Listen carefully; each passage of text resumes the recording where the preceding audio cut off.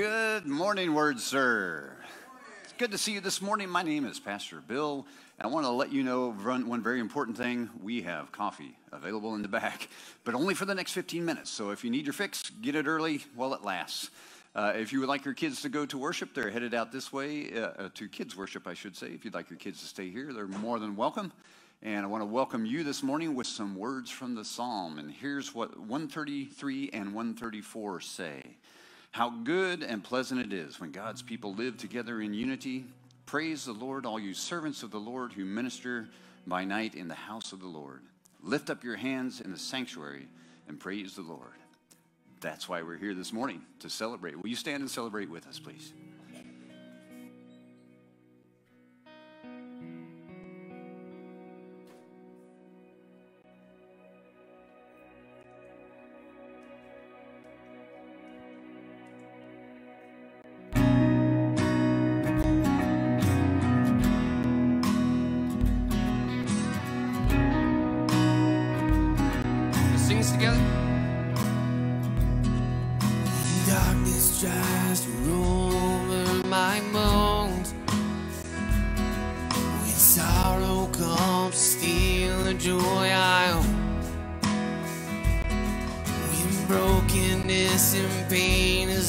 I know I won't be sinking.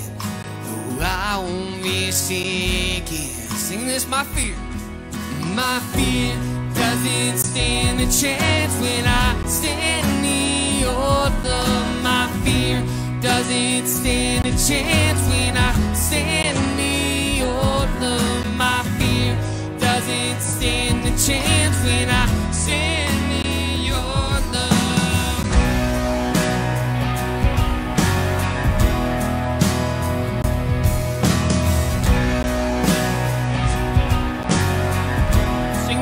shame no longer has a place to hide.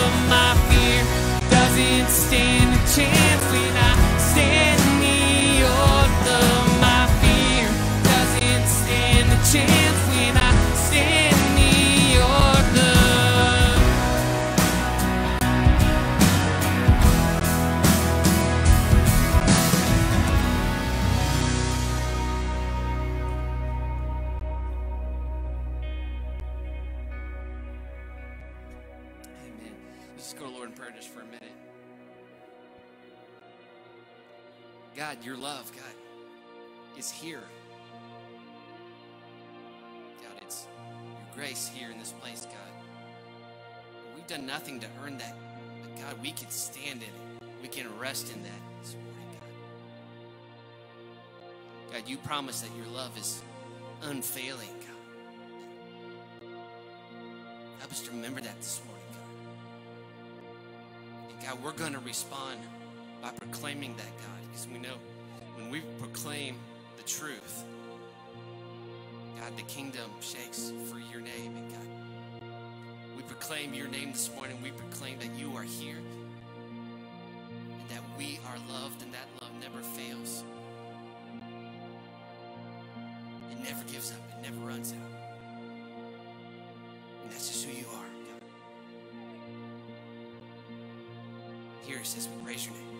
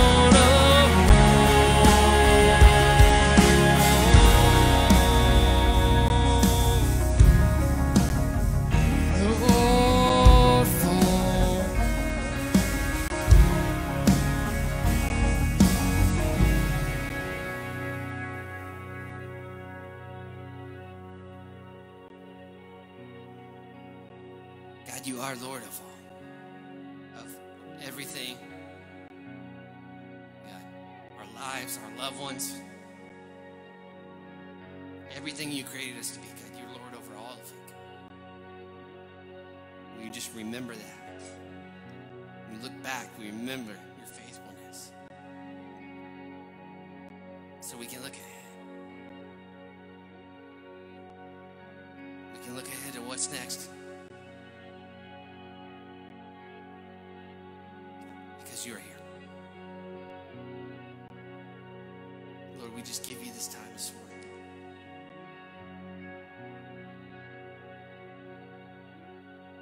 Have your way in our hearts, God. We stand and we rest in your love this morning.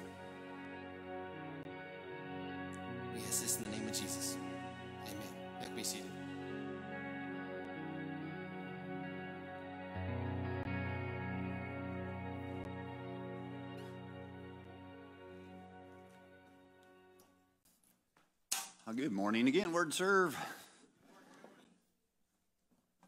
It's always good to see you here. We have a couple of announcements I want to share with you. We have a digital connection card. Most of you are probably familiar with this process, but uh, it will show up on the screen as it just has. If you'd like to snap that, let us know that you're here. And if you have any prayer requests, we have an awesome team that is like the Special Forces of Prayer. I like to say them that way. It sounds cooler that way. And it also helps when you recruit people to the prayer team. But anyway, uh, they would love to pray for you. So share with us any concerns that you have. Let us know you're here. Let us know you're doing well or not well. It's okay to be not well as well. And uh, we will follow up on that as needed. The other thing I always mention is the giving aspect. If you do miss this, by the way, it's uh, available on a card over here. So don't panic. Uh, I always like to see how fast people can draw their phones. You know, it's like, did I catch it? No, no. All right. Um, but we also talk about giving. So lots of opportunities to give, whether that's time, talent, or treasure. Want to make sure that we find a place for people to plug in, get connected, give back the gifts that God has given you because that helps us come alive, find a sense of purpose and meaning, and build God's kingdom in the process. So win, win, win all the way around. If you'd like to give financially, we also have ways to do that. Uh, on the screen, you can text the word um, word serve, yeah, to, the, to that number or there's other ways you can give electronically. So all kinds of wonderful ways to contribute to the ministry of WordServe, which uh, we always intend to build God's kingdom with.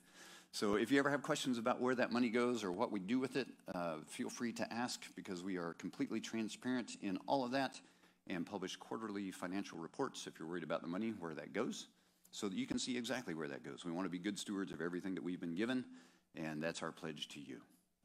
Uh, speaking of being good stewards, we are also a praying church. So we will be good stewards of God's kingdom by praying for it. How about that? Let's pray. God, thank you for the opportunity that we have to gather together today. And God, as I look at the world around us, uh, I've never seen a time in my lifetime when the world needs your hope and your love and your grace. When we need to speak words of truth, but words of truth with love when the world needs to see that life truly can be different as we follow you. God, I pray for uh, all of us, every individual here, that we would recognize a tremendous opportunity that no matter how dark or divisive the world looks as I look at the news, we have good news that can counter that. So, God, let us not be guilty of hoarding that, but sharing it. And if we would be made fools, then we'll be made fools for Christ. But God, give us the courage to do just that. Spread the good news and live the good news so that the world around us knows who you are. We pray this in Jesus' name. Amen. This morning, I have a little bit of trivia for you. I don't know how many people are baseball fans, and yes, I do recognize it is not baseball season, but I'm going to throw up a picture, um, maybe. Hey, there it is. All right, now don't say the names because I want to see how many people know the two people in this picture. How many people know both of these people? Okay, how many people know at least one? Okay, who's the one? Babe Ruth. Everybody knows Babe Ruth, but who's the other dude? Lou Gehrig. Now, here's an interesting thing about Lou Gehrig. Look at these stats. This is Lou Gehrig's career. Played 17 seasons for the New York Yankees, All Star, seven consecutive years. Six World Series championships, first Major League Baseball player to have his jersey number retired. How cool is that? Anybody know what his number was? Oh, that's like deep trivia. It was four. All right. So, uh, record for the most consecutive games played. That's 2,130, a record that stood until Cal Ripken Jr. broke it in the 90s. This was back in the 30s. That's amazing. That, that, that endurance of his it, uh, earned him the nickname the Iron Horse. Now, now you know who he is, Lou Gehrig, but are these stats what we remember him for? What do we remember him for? Exactly. Yeah. So Lou Gehrig's disease, or ALS, uh, amyotrophic lateral sclerosis. Say that 10 times fast.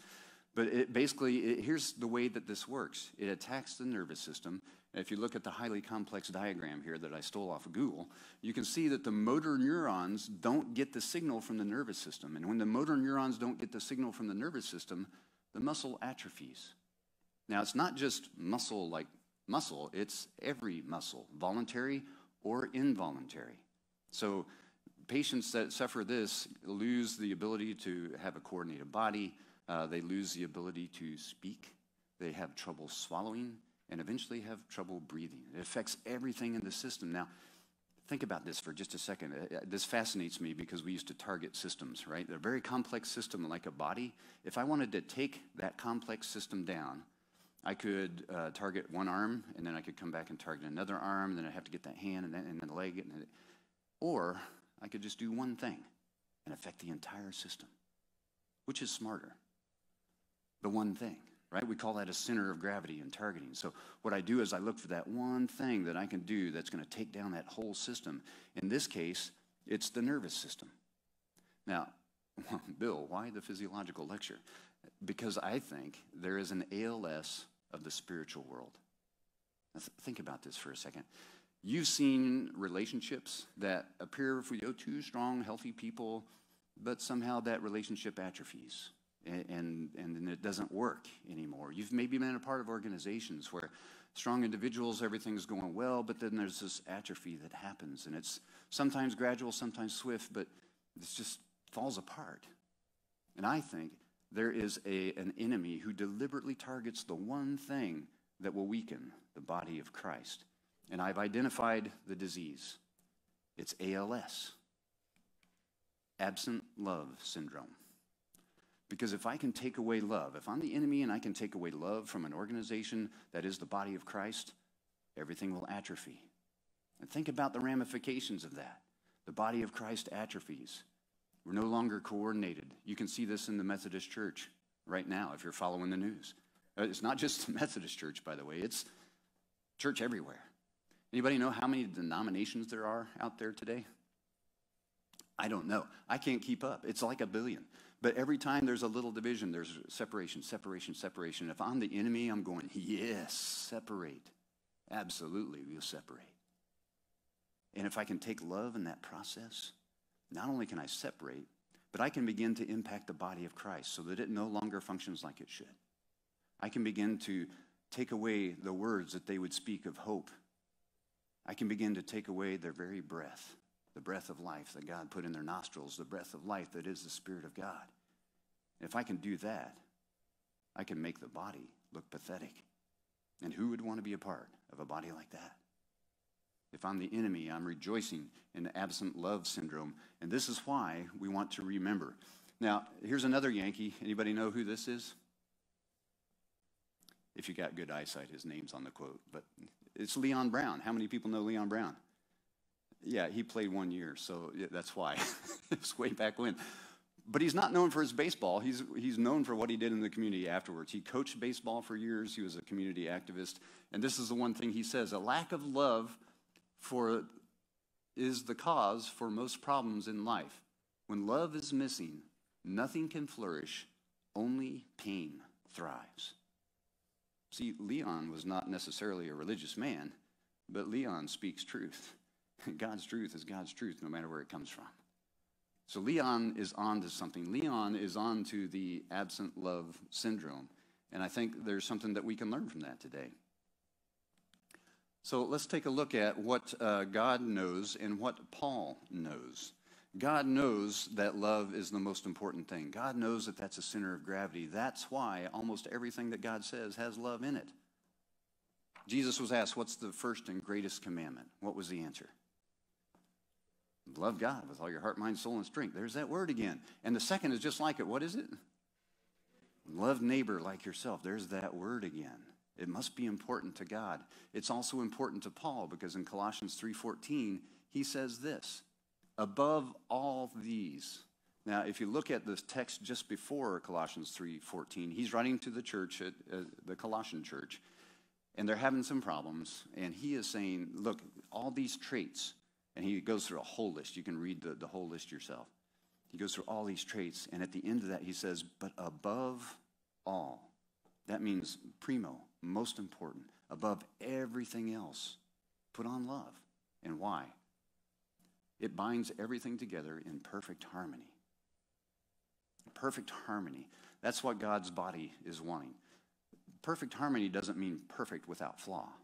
Perfect means mature, complete ability to absorb the blows of the world, the blows of uh, medical diagnosis, the blows of relational troubles, the blows of everything, and still represent a mature harmony to the world around us. That's God's ultimate desire.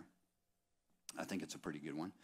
Um, now, how do we do this? I know you're asking, okay, how, how do I do that kind of love? Because that's not what I see in the world, and, and you're right. So, Paul has more to say about this. In 1 Corinthians 13, if you want to follow along the home game, we're going to be delving into verses 4 through 7. This is a very familiar verse, but what you may not know, this verse is always read at weddings, right? Have you never ever been to a wedding that this hasn't been read? Right? It's always read at weddings. But you know, it was not written for weddings. It was written to the church, the Colossian church, as a way to get along with the community. So let's dive into this a little bit. It says, Love is patient, love is kind. It does not envy, it does not boast, it is not proud, it is not rude, it is not self seeking, it is not easily angered, it keeps no record of wrongs. Love does not delight in evil, but rejoices with the truth. It always protects, always trusts, always hopes, always perseveres. And the next verse after it, I threw on there in verse 8 love never fails. That sounds pretty good. But how do we live that? How do we embody that? See, that, that's where it gets tough. Pretty easy to see, pretty tough to do. And, uh, and I know we've all been there. I get it. So, one of the things that you can try, and you've probably heard this a million times before, if you want to practice this, is to put your name in where it says love. Uh, how many people have heard of that before? Pretty handy, handy technique. So, for example, Bill is patient, Bill is kind, Bill does not envy, none of which is true. Um, Bill does not, you get the idea, right? So you can put your name in there, and then that's cool. But sometimes it, it's just easy to pass over that. What if we put my name in there and put the opposite in there? Check this out. Bill is not patient. Bill is not kind. Bill envies and boasts and is proud. That's actually more truthful than the other version if I'm being honest. Bill is self centered, easily angered. He keeps score. Bill delights in evil, but does not rejoice with the truth. Bill never protects, never trusts, never hopes, never persevere. Bill never wins. That's a little more impactful. That kind of hurts. But in my case, it's more true than the other version, if I'm being honest. Why do I bring this up? Because we, the people of God, have a wonderful opportunity. As we look at all the division and all the stuff going on, look at the politics right now. I'm not going to go into that, uh, but you, you know what I'm talking about. Look at the effects of COVID, the division in this nation. Everything that's out there is divisive. Where's the unifying voice? I'll tell you where it is it's the body of Christ. That's the unifying voice. That's the whole reason that Jesus invites us into this process. It's the whole reason he says, uh, love God with all your heart, mind, soul, and strength, and your neighbor as yourself. It's the whole reason Paul says, above all things, put on love, because that is where perfect, mature harmony comes from. Church, we have an opportunity. There's a need in the world, and we have an opportunity to be a part of this. So we have to practice. So let me give you a couple of ideas. Uh, if, if you ever get to the point where absent love syndrome, the, the sclerosis in ALS, uh, let me back up just a second. The sclerosis in ALS is a hardening or a scarring. And the, and the tragic part of that disease is as the hardening and scarring happens, even if the signal is sent, it can't get through. It, it's too hard, it's too scarred, and it just can't get through to the muscles where it needs to get. But there's this magic thing when it comes to spiritual ALS called forgiveness. Forgiveness is like hitting the reset button.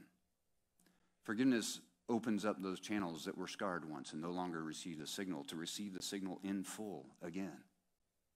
Forgiveness allows that signal of love to flow through the body of Christ and represent to the world what can be. Forgiveness is not easy.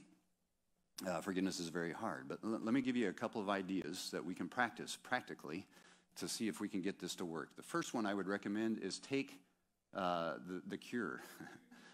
the cure for ALS is AALS. Above all, love syndrome. Not absent love syndrome, but above all, love syndrome. That's what I would like to, to be guilty of, if you will. A couple things that you can do. Uh, take 1 Corinthians 4 through 7, write it out, I, and I recommend write it out. Don't just copy and paste because there's something magic about making your hand write the words. At least for me, they tend to stick better. I still write, handwrite sermon notes for, for the same reason. It just sticks with me better. Tape it to your mirror, uh, tape it to the dashboard of your car, wherever you're going to spend a lot of time that you'll see it every day so that you can review 4 through 7. Put your name in there if you want, put your name in the opposite, whatever works for you. But reflect on that. Make that the first thing you see in the morning and the last thing you see at night. The first thing I see in the morning sets my, my temperature for the day. I'm going to take advantage to do these things, to be patient, to be kind, to not boast, to not be proud. At the end of the day, come back and review the day. It's like a debrief. So, and, don't beat yourself up about this. We're human, okay? So, oh man, I blew that can't chance to do that. Oh, I must be a terrible person. Or you could say, yeah, I blew that chance to do that. What can I learn from that and do it differently next time? That's what I'd rather have us do because that's more constructive and useful, by the way. So, first thing in the morning sets a tone. The last thing at night debriefs the day and lets you look for opportunities where maybe tomorrow I'll do a better job at this. And where I fail, I will rely on forgiveness because that's the way the body of Christ works. It's the anti sclerosis in this whole process. The other thing that you can do is to practice forgiveness. Now, here's the funny thing about forgiveness. In order to practice forgiveness, you have to be in a situation that requires forgiveness. In other words, you live in a messy world. We all live in a messy world, do we not?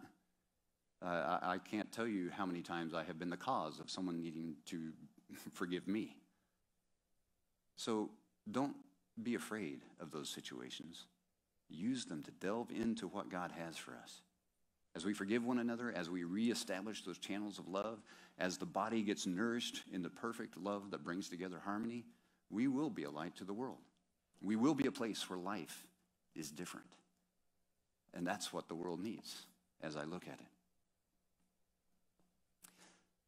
The um, other thing that you can do now, forgiveness is a huge topic, right? So you can Google on wordserve.org, you can Google the word forgive, and you will see a sermon series that goes all the way. I listened to it yesterday just out of nostalgia. Went back to 2013. We did a sermon series. I didn't make up the, the sermon series is called the F word, right? So the forgiveness, forgiveness. And there's three sermons in that sermon series that talks all about the process of forgiveness. So I'm not going to go into that, but I would encourage you to go onto the website and look back. Uh, just again, search the word forgive, and it'll, it'll pop all those sermons if you want more information on that particular thing. But that is uh, a good place to start. The cure, like I said, above all love syndrome, because that's what binds everything in perfect harmony.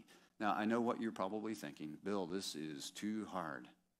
You don't understand. I've been betrayed by a very close friend, someone who is near and dear to me, someone who I poured my life into, whether that's a relationship at home, a relationship with a coworker, a relationship in the, in the extended family. It was close, it was personal, and it was betrayal. It's too hard. And you know what Jesus would say? I washed the feet of 12 disciples, one of which was named Judas, knowing that in a matter of hours he would betray me. It's not too hard. So, okay, well, maybe uh, you got me there. Okay, but, but this world, this world is too cruel. It's too violent. It's too unfair, unjust. I don't want anything to do with this world. And you know what Jesus would answer? As he was being crucified, after being tortured, after a kangaroo court that was the most unjust court in the, in the history of the world, he says this Father, forgive them. They don't know what they're doing. It's not too hard, but man, is it hard. And if we are going to be Jesus' followers in earnest, then we need to follow Jesus' lead. No matter if we wash the feet of the one that we know will betray us, no matter if the world is so cruel and violent that we want nothing to do with it, forgive them, Father. We don't know what we're doing. There's grace there, and it is not too hard, but it's not easy. And it comes together better when we do it as a body of Christ. Today is, of all days, the day when we can talk about unity because it's Communion Sunday. The very word communion has the word union in it. Co, together, union, one. Out of many, one. This is the day that we talk about unity. In the Methodist Church, there is a prayer of confession. And God thinks this is pretty important, this confession thing. He says, if you're going to come to the altar, before you come and receive communion, if you have something against your brother or sister, lay it down. Go back to them. Make that right before you come into his presence. And so, one of the common things in the Methodist liturgy, which we normally don't do because we like to be efficient and quick, is this prayer of confession. I'm going to throw it up. Oh, uh, I had one other picture first. I have to share the unity picture because here's the thing we can stand together and represent the body of Christ, or we can stand separately and atrophy. That's the choice. But this prayer of confession is a great place to start. Let me throw it up and uh, you can read it. I'm going to give you time to read it because I don't, I'm going to ask us to pray it aloud together. And if you're not down with that, that's okay. But I want you to understand what it is that we're praying. So take a second, read it for yourself.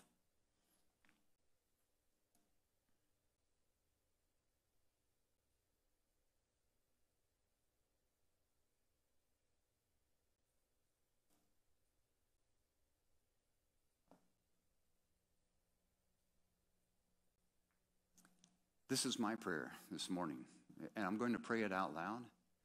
And if you would like to pray out loud with me, I encourage you to do that. If there's some part of this prayer that you cannot pray out loud this morning, that's okay. Make it right with God. This is the time to give it to Him. But ultimately, the goal is to come together as one, as the body of Christ. So, will you pray with me? Merciful God, we confess that we have not loved you with our whole heart. We have failed to be an obedient church. We have not done your will. We have broken your law. We have rebelled against your love. We have not loved our neighbors. And we have not heard the cry of the needy. Forgive us, we pray.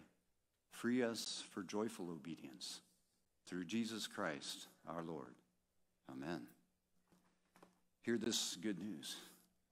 We are forgiven through Jesus Christ and his gift of the cross. We are forgiven indeed. It was on that night, that last night, that Jesus knew forgiveness would be needed. It was that night that he gave the sacrifice that would allow that very forgiveness.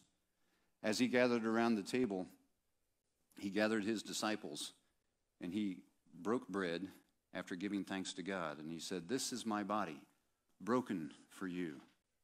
Take and eat. Christ, who is whole, was made broken, so that we who are broken might be made whole, the body of Christ. After supper, he took the cup, he gave thanks, And he passed it to them, and he said, Take and drink. This is my blood poured out for the transgressions of many. And as often as you do this, do this in remembrance of me. Christ, who was full, was made empty, so that we who are empty might be made full. The blood of Christ. Will you pray with me, please? Almighty God, pour out your Holy Spirit on us gathered here and on these gifts of bread and wine. Make them be for us the body and blood of Christ, that we may be for the world the body of Christ, redeemed by his blood. By your Spirit, make us one with Christ, one with each other, and one in ministry to all the world until Christ comes in final victory and we feast at his heavenly banquet. Through your Son, Jesus Christ, with the Holy Spirit in your holy church, all honor and glory is yours, Almighty Father, now and forever. Amen. Could I get a couple of volunteers to help me pass out communion? We have two options available. One says gluten free on the top, the other does not. So if you require gluten free, make sure you look for the thing that says gluten free on the top. Thank you, Jimmy and Sarah. And as our kids join us for communion and as the communion comes around, recognize this is a gift that is freely given by God and should be freely accepted. But it needs to be accepted. I can't imagine what Jesus must have been thinking during that dinner because everybody's expectations were that this would be the time when the Romans get overthrown, when justice is restored, when I get that cabinet seat that I've been looking for to be able to sit at the right and left hand of God, uh, of Jesus in his new reign. And how disappointed they must have been when it didn't work out that way. I also wonder if I were Judas, if he had asked for forgiveness, would it have been available to him? You ever wondered that one? I bet it would have been. And his story could have been way different. But he never sought it. So this morning, seek forgiveness. We always say that life is different, but the things that enable life to be different are what we're holding in our hand the representation of the gift of Christ on the cross. And if it were just that, it would be a great story. If a man gave his life so that we could have forgiveness, that would be an awesome story, but it gets even better because there's a thing called Sunday and Easter, and he doesn't stay dead. I don't know if you've heard this. He's alive and he is present, and he is present in this.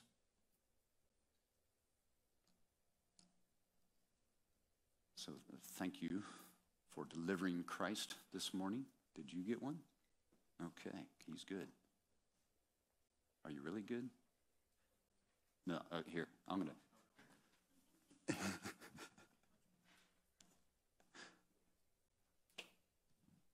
no man left behind. All right, so on the uh, top is the, the tablet. We'll go ahead and open that first.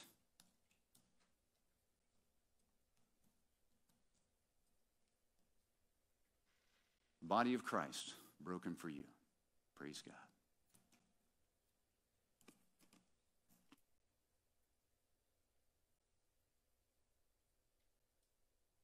Now we'll flip it over to the juice side. And carefully remove the top.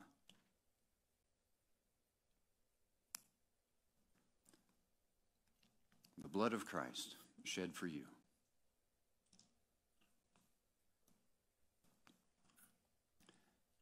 If you would like to take a second to reminisce, to reflect, to pray, to ask forgiveness, to ask where you need to look at yourself in the mirror of 13, uh, 1 Corinthians 13, 4 through 7. This is your time with God. Make it between you and Him and let it be good.